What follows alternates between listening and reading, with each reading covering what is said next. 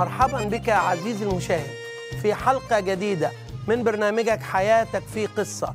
لماذا أن سياسي محنك عظيم لا يسمع لوعاظ العظماء بل وعظ القرية؟ دي قصة حياتي ضامنها في ايديك شايفها يوماتي غلاوتي عليك.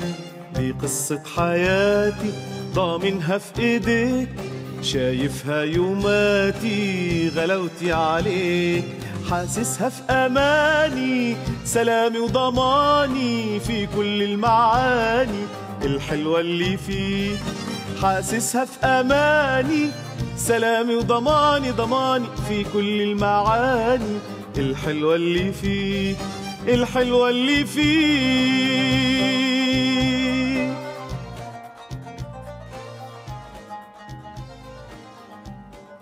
نتوجه بالتحية والشكر والتقدير لكل مشاهد ومشاهدة. يتواصلوا معنا لأننا عايزين نعرف آه، آرائكم وعايزين نعرف قصصكم اللي بتبعتوها لينا. تواصلوا معنا أحبائي المشاهدين عن طريق الخطابات أو التليفون أو أفضل طريقة أنك تزور موقعنا على شبكة الإنترنت. آه، عنوان موقعنا www.lifestorytv.com وبقول لك لو مرة زرت هذا الموقع هتخليه صفحة مفضلة ليك. لأنه تقدر تعمل تحميل لكل القصص عدد كبير جدا. طبعا تحميل مكتوبة أو مقروءة ومسجلة تقدر تع- تعمل تحميل للكتاب المقدس كله بالصوت مسموع أو مقروء. زوروا موقعنا على شبكة الإنترنت. آه، موقع آه، قصتنا النهاردة قصة بسيطة لكنها عميقة وهامة للغاية. قصتنا النهارده بعنوان خادم القرية. خادم القرية قصة النهارده بتحكي عن سياسي شهير واحد من أهم خمسة كانوا في الكونجرس والبرلمان الأمريكي. آه، دانيال ويبستر. دانيال ويبستر هذا السياسي المحنك كان كتير بيروح يوم الأحد يس... يروح القرية أو يسافر بالعربية بتاعته للتلال لغاية ما يوصل لقرية أمريكانية نائية ويحضر الكنيسة هناك. الموضوع ده اتكرر كتير جدا. فسألوه ليه بتعمل كده؟ قبل ما أقول لك قال إيه هديك فكرة عن مين دانيال ويبستر. دانيال ويبستر ده واحد من أشهر الخطباء والسياسيين الأمريكيين في القرن ال 19 ولد يوم 18 يناير سنة 1782 ورحل عن دنيانا يوم 24 أكتوبر 1852 عن عمر يناهز 70 سنة. لعب دور هام في تكوين وتأسيس السياسة في الولايات المتحدة الأمريكية. كان يقود الدولة الأمريكية في إرساء النظام الجمهوري ثم وضع دستور عام للبلاد يوم 17 سبتمبر سنة 1787 آه، بمقتضاه تم الفصل بين السلطات التنفيذية والتشريعية والقضائية ثم تكوين دولة فيدرالية آه، منظمة بدستور مع وجود أعضاء منتخبين من كل الولاية ارتفعت الأهمية بتاعة آه، آه، دانيال ويبستر بعد ما دافع عن مصالح الشحن لنيو إنجلاند. كان ليه وجهات قومية كبيرة وكان واحد من الخطباء العظماء جدا. هو أحد محافظي الأمة. أثناء سنواته الأربعين في السياسة قضى 40 سنة في السياسة الوطنية ويبستر خدم في مجلس النواب عشر مرات متتالية في تمثيل ولاية نيو هامبشير مجلس شيوخ 19 سنة يمثل آه، ولاية ماسو ماسوستس. اسمها صعب جدا اللي منها بوسطن طبعا أهم مدينة فيها. وعمل كوزير الدولة لشؤون ال- الثلاث رؤساء كان هو واثنين تاني آه، معاه من أشهر آه، وزراء الدولة وقتها. آه، دانيال ويبستر كان أكثر المحامين الناجحين في هذا العصر. ظهور شطارته في عدة حالات رئيسية اسست سوابق دستورية هامة عززت سلطة الحكومة الاتحادية كوزير خارجية. فاوض كان شغل وزير خارجية. فاوض ويبستر اشبرتون اللي هو إنجليزي وقرروا الحدود الشرقية آه، للولايات المتحدة الأمريكية. فشل ثلاث مرات إنه يوصل للبيت الأبيض لأنه كان دايما بيفكر لكن ما كانتش ليه علاقة جماهيرية. هذا ملخص بسيط طبعا وسريع لدانيال ويبستر ولو دخلت على الإنترنت تقدر تاخد معلومات أكتر عن هذا الرجل. حكاية لقيت حكاية. الراجل ده ما كانش يحضر الكنيسة في واشنطن وكان ياخد عربيته ويسافر ساعات يدور على قرية نائية ويحضر الكنيسة يوم الحد في قرية بسيطة. فلما تلاحظ الحكاية دي سألوه ليه يا مستر دانيال ويبستر مش بتفضل تحضر الكنايس الفخمة وبتروح الكنيسة الصغيرة؟ قال في واشنطن في الكنائس العملاقة يخاطبونني باعتباري دانيال ويبستر السياسي المثقف ويكلموني كلام سياسي وكلام. أما في القرية فخادم القرية يتحدث إلي باعتباري دانيال ويبستر الخاطي المحتاج إلى خلاص المسيح. فأنا بفصل بين الحاجتين. إذا أنا سياسي في الشغل بحب إن ما أعاملش كسياسي مع الله. أحب أتعامل باعتباري إنسان خاطئ. عايز أسمع الإنجيل النقي الإنجيل البسيط. قال دانيال ويبستر. وبصراحة لما قريت إنه قال كده الحكاية دي كانت أنا بالنسبة لي أعلى 100 مرة من كل إنجازات إنه عرف إنه شاطر أوي في سياسته مع الناس لكن مع الله عايز يسمع كلام نقي عن حق الإنجيل. خادم القرية قصتنا النهاردة سأستكملها معك بعد أن نستمتع بترنيمة جميلة جدا مع مرنمنا دافئ الصوت منير حبيب. ابقى معي إلى بعد الترنيمة ما تقلبش ولا كده ولا كده في كلام يهمك جدا في حلقة خادم القرية.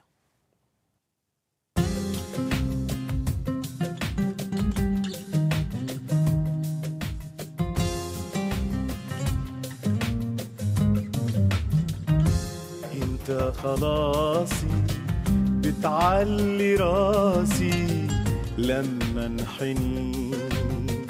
انت خلاصي بتعلي راسي لما انحني. سامع دعايا مسح بكايا بتحبني حبك غامرني. دمك ساترني يا منقذي. سامع دعايا مسح بكايا بتحبني. حبك غامرني دمك ساترني يا منقذي. شايل ذنوبي ساتر عيوبي. بيضت توبي غسلتني واخد مكاني. مصلوب عشاني من موت جيب قومتني. شايل ذنوبي ساتر عيوبي. بيضت توبي غسلتني. واخد مكاني مصلوب عشاني. من موت جيب قومتني قومتني.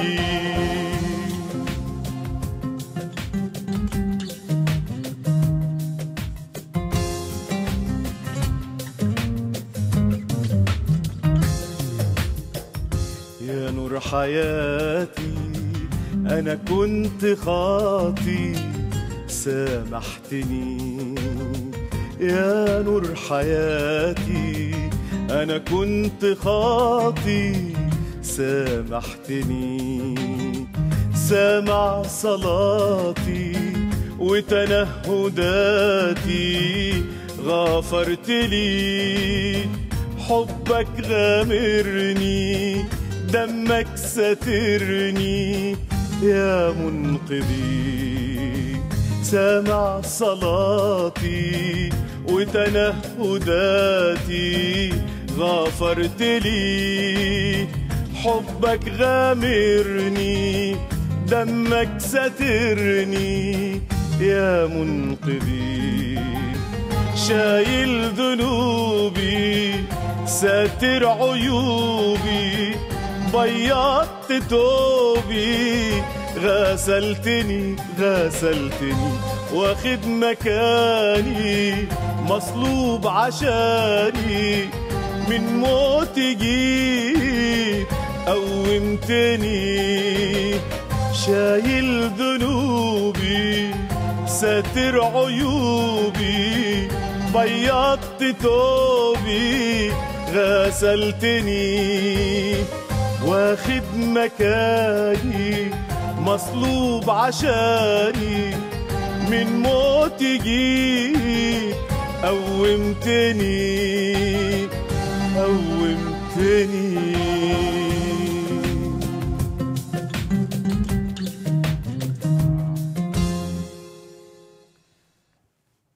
شايل ذنوبي ساتر عيوبي بيضت توبي غسلتني.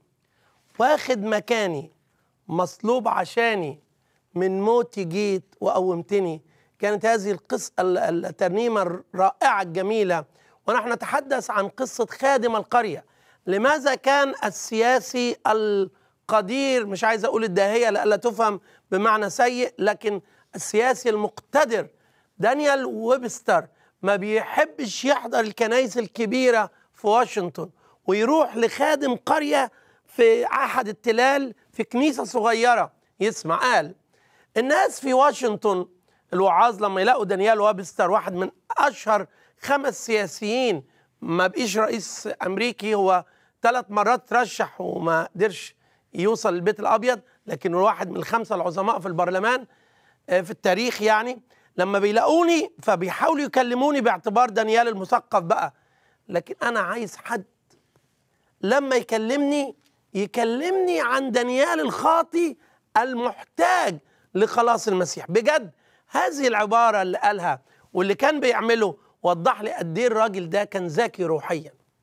في ناس كتير لما يكون عندهم فلسفة وكده يحبوا يروحوا كنايس رجال الأعمال. طبعا أنا ما بدخلش في سياسة وليش أي دخل لكن كنايس رجال أعمال تلاقي الكنيسة ماشية كده بالمزيكا مرتبة وكل حاجة مهندمة والموسيقى ويعني اللي بيرنم ماشي واقف انتباه ما بيحاولش يكون كده وما فيش صوت يعلى ولا يوطى كل حاجة under control والوعظة بقى حاجات إيه؟ حاجات بقى اجتماعية وثقافية ونفسية كده. آه دانيال ويبستر ما كانش بيحب اللون ده هو حر. يمكن انت بتحبه أنا انت انت حر برضه. الفكرة إن هو كان عايز يسمع إنجيل نقي عزيز المشاهد أخت المشاهدة لن يخلصنا غير الإنجيل. وهذا ما قاله الرسول بولس في رسالة كورنثوس الأولى أصحاح اتنين. قال لهم لما أنا جيت كنت في خوف ورعدة. ليه حطت الرسول بولس. ده أنت واعظ قدير. قال لا عندي هايب المسؤولية. آه وكمل كلامك حضرة الرسول. قال ولم أعزم. أن أعرف شيئا بينكم إلا يسوع المسيح وإياه مصلوبا.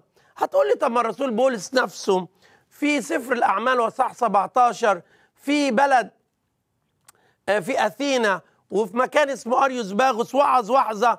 لا ما فيهاش أي حاجة. الوعظة هي فيها ذكاء روحي لكن ما خرجش عن المسيح وإياه مصلوب. قال لهم أنا بمر بين المعبودات لقيت معبد لإله مجهول أنتم مش عارفينه أنا أقول لكم عليه.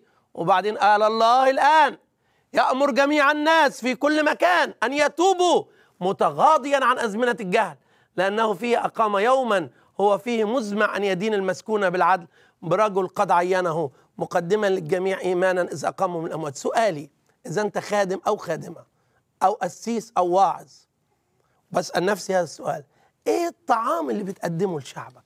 هل تقدم لهم يسوع المسيح وإياه مصلوبا دائما؟ أم تقدم حاجات مختلفة؟ هذه هي قصة النهاردة عن خادم القرية. حبه لأنه كان بيقدم الإنجيل النقي. يقول الرسول بولس لأقدم حق الإنجيل. قدم الإنجيل. ما هو الإنجيل؟ الإنجيل حسب كورنثوس الأولى 15 إن إحنا خطاة والمسيح مات من أجل خطايانا. دي النقطة الثانية النقطة الثالثة إنه دفن. النقطة الرابعة إنه قام وظهر لكثيرين وآخر عمود في حق الإنجيل إنه جاي تاني هو ذا سر أقوله لكم. وعايز أناقشك. يعني أنا متخيل القسيس بتاع القرية ده أو الواعظ بتاع القرية اللي حب ويبستر دانيال ويبستر يروح له كان بيقول إيه؟ يعني قال بيكلمني باعتباري دانيال الخاطي أحتاج إلى فداء المسيح. وعايز أقول لك ليه مفروض مفروض لأن الكتاب قال. ليه مفروض ما نكرس إلا بشخص واحد هو ربنا يسوع المسيح حتى في لبس المبشر. لما راح للقسي الحبشي وكان بيقرأ في أشعياء 53 يقول الكتاب فبشره بيسوع. ليه البشارة بس بيسوع؟ لأن يسوع المسيح وحده هو الفادي. ربنا كان في العهد القديم بيجيب فداء عن طريق الذبائح. كانت صورة رمزية ضحية يعني. يحط الإنسان يده كده يقول له يا رب أنا معترف إن أنا خاطي واستاهل الذبح وخلي يا رب ال- الخروف ده ولا إن كان أي حيوان يفديني يموت بدالي. لكن مش ممكن خروف يفدي إنسان أبدا. إيه الشروط ال- لو ربنا عايز فادي ينفع لكل البشر؟ أنت فكر معايا. إيه الشروط الواجب توفرها؟ في هذا الفادي اللي يقضي كل البشر واللي يكون مبعوث من الله. أول حاجة إن الفادي ده ما تكونش قيمته أقل من الإنسان لأنه إزاي يفدي إنسان وهو أقل من الإنسان؟ إذا الذبائح الحيوانية كانت بس مثال. الحاجة الثانية لازم الفادي ده يكون خالي من الخطية لأن لو الفادي ده أعظم من الإنسان آه بس بيعمل خطية هيبقى هو كمان محتاج فداء حاجة الثالثه لازم الفادي ده لأنه سيموت لأجل العالم كله البشر كله تكون قيمته أكتر من العالم كله. عايزين ضحية تقضي العالم. يبقى أكبر من البشر يعني أغلى من الإنسان ثم بلا خطية ثم قيمته أعلى من كل البشر مجتمعة. الحاجة الرابعة اللي ممكن تكون إنه ما يكونش مخلوق. عارف ليه؟ لأن لو أنا مت لو أنا مت وأنا مخلوق موتت نفسي وقدمت نفسي ذبيحة يبقى أنا كده بنتحر. لأن نفسي مش ملكي. يبقى كمان ما يكونش مخلوق. الله الله. يبقى الملائكه ما تنفعش. لا الملائكه ما تنفعش. لأن الملاك أعظم من الإنسان بس الملاك قابل للخطأ. زي ما عرفنا الملاك زمان أخطأ وبيشطان ثم الملاك محدود. ما يكونش قد البشر كلهم. حاجة الخامسة لازم يكون الفادي غير محدود. علشان يقضي عدل الله الغير محدود. لأن الخطية موجهة ضد الله الغير محدود وعلشان الله يصالحنا. علشان كده بالتالي الحيوانات ما ينفعش ولا الملائكة. هقول كمان شرط سادس. الفادي لازم يكون إنسان. هتقول لي كمان؟ آه. لأنه لو مش إنسان الملاك روح ما يموتش. يعني لازم يكون قيمته أعلى من الإنسان. ولازم يكون أعلى من البشر كلهم وبلا خطية وغير مخلوق وفي نفس الوقت يكون إنسان. ده مش كده بس لازم هذا الفادي يكون قادر إنه يقوم بهذا العمل ويوافق عليه. الله لا. السبع شروط دول لا يتوافروا غير في شخص واحد همر عليهم بسرعة. أول حاجة مش أقل من الإنسان الذبائح ما تنفعش. الذبائح الحيوانية. اثنين خالي من الخطية علشان كده الملائكة برضو ما تنفعش. الحاجة الثالثه قيمته أعلى من البشر مجتمعا الحاجة الرابعة يكون غير مخلوق. الحاجة الخامسة غير محدود. الحاجة السادسه آه يكون إنسان. الحاجة السابعة يوافق بإرادته يعمل كده. مفيش غير بص عليهم الشروط دول. علشان هل المسيحية ضد العقل؟ هل الإيمان المسيحي معقول؟ صدقني معقول جدا. بس لو فكرت لو فكرت بس يمكن انت خايف تفكر مع ان ربنا اداني وادالك العقل. والعقل ده مسؤولية كبيرة. نعم جاء المسيح. الذي لنا فيه الفداء بدمه غفران خطايا. سؤالي ليك. يمكن مرات بتحضر كنيسة إن كان الوعظ اجتماعي ولا سياسي ولا فلسفي ولا أي مكان حتى لو الوعظ قوي انت عايش مع نفسك. ان كنت شاب ماسك في الموبايل وداخل على الانترنت وبتعمل شاتنج على الفيسبوك وانت في الكنيسة صدقني. وبتبعت رسالة لصديقك تضحك وهو يبعت لك وهو عايش. حبيت دانيال وابستر لأنه حب خادم القرية. وأهنيك إن كنت قد قبلت المسيح مخلص وفادي. مات بدلا منك. يا أخي أنا لو حد إداني نص لتر دم أظل مديون ليه؟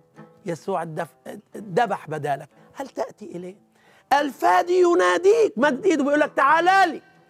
أنا مت بدالك أنا الوحيد اللي كل شروط الفداء السبعة اكتملت فيا جيت جيت بإرادتي. جاء بإرادته صدقني. قول له يا رب يسوع صلي معايا يا رب يسوع صلي ورايا. بجد يا رب يسوع أنا بقبلك. ملك على حياتي أقبل فدائك يا رب. خلي دماءك ودماء الفداء تغسلني إني أقبلك مخلص وفادي في هذه اللحظة. أتمنى ليك حياة تقرأ الكتاب وتصلي وتواظب على وصايه النعمة. إن كنت خدت هذا القرار ارسل لينا نفرح بيك وقول لنا في أنهي حلقة خدت قرار إنك تعيش للمسيح. إلى حلقة قادمة من برنامجك حياتك في قصة أتركك في عمق الشركة مع الفادي الوحيد يسوع المسيح. عزيزنا المشاهد إذا أردت الحصول على كتيبات وسيدي برنامج حياتك في قصة اكتب لنا على عنوان البرنامج. كنايس رجال أعمال تلاقي الكنيسة ماشية كده بالمزيكا مرتبة والموسيقى ويعني اللي بيرنم ماشي واقف انتباه. إيه الطعام اللي بتقدمه لشعبك؟ هل تقدم لهم يسوع المسيح وإياه مصلوبا دائما؟ عزيزي المشاهد أخت المشاهدة لن يخلصنا غير الإنجيل. ما هو الإنجيل؟ الإنجيل حسب كورنثوس الأولى 15 إن إحنا خطاة والمسيح مات من أجل خطايانا دي النقطة الثانية النقطة الثالثه انه دفن. النقطة الرابعة إنه قام وظهر لكثيرين وآخر عمود في حق الإنجيل إنه جاي تاني هو ذا سر أقوله لكم. ليه البشارة بس بيسوع؟ لأن يسوع المسيح وحده هو الفادي. الفادي يناديك مد إيده بيقول لك تعالى لي. أنت خلاصي بتعلي راسي لما انحني